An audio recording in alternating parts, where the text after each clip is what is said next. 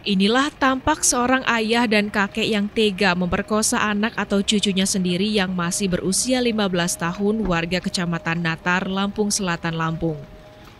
Kedua pelaku sudah berulang kali melakukan aksi bejatnya dengan cara mengancam akan mengusir hingga membunuh korban.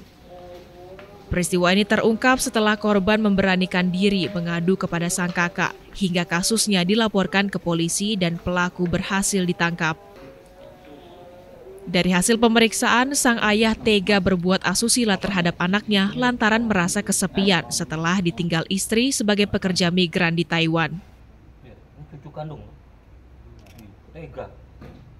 di dalam tindak pidananya ada unsur ancaman kekerasan yang dilakukan oleh para pelaku dengan ancaman membunuh ya bila tidak menuruti kemauan dari para pelaku.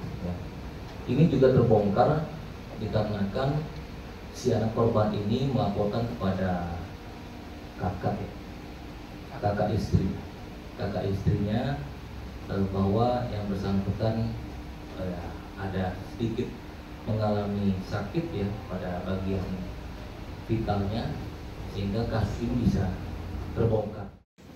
Kini kedua pelaku harus mempertanggungjawabkan perbuatannya dan dijerat pasal 81 Undang-Undang Perlindungan Anak dengan ancaman hukuman 15 tahun penjara.